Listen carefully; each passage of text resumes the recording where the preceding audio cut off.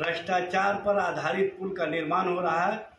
वो पुल लगातार गिर रहा है और पुल का गिरना कहीं ना कहीं सरकार का जो कार्य करने का तरीका है, सरकार के स्तर से, जिस तरह से भ्रष्टाचार को कहीं ना कहीं बढ़ावा दिया जा रहा है, ये उसका प्रमाण है।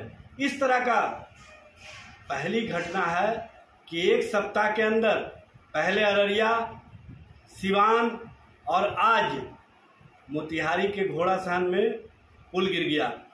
पुल का गिरना कहीं ना कहीं सरकार और सरकार के स्तर से, जो भ्रष्टाचार और भ्रष्टाचार के स्तर से पुल का निर्माण किया जा रहा है, ये आगे बढ़ कर के नमूना है। देश और देश के इतिहास में पहली घटना है कि धड़ाधड़ एक सप्ताह के अंदर में तीन पुल गिर गया।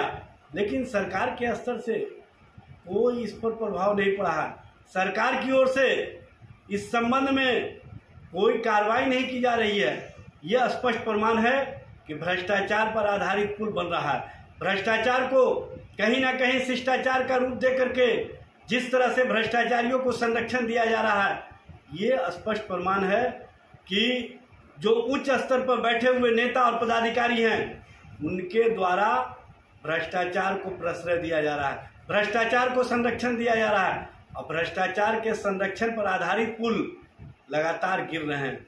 उसके बावजूद भी सरकार के स्तर तेजस्वी यादव जी, आप लोगों में उन्माद भड़काने का काम नहीं करें। आप नेता प्रतिपक्ष हैं, आप एक जिम्मेदार पद पर हैं। आपको इस तरह के धमकी बयान जो कि प्रशासन को, सरकार को धमकी दे रहे हैं, आम जनता को धमकी दे रहे हैं, ये किस तरह की भाषा है? ये सबका बदला लेंगे, सबका हिसाब लेंगे। ये शोभा नहीं देता और बिहार इससे अब काफ़ी आगे निकल चुका है, बाहर निकल चुका है। बिहार को पुनः पुराने जंगल राज, जंग दलदल में धकेलने का प्रयास ना करे तो बेहतर होगा, तेजस्वी जी। आशीर्वाद इजी कॉन ग्रुप, भरोसे का दूसरा नाम। हम सिर्फ़ घर नहीं, खुशियाँ भी बनाते हैं। आशीर्वाद रोज वैली, जिसमें है premium flats with all modern amenities Patna में लेना चाहते हैं अपने सपनों का आशियाना तो कीजिए हमारे इन नंबरों पर संपर्क।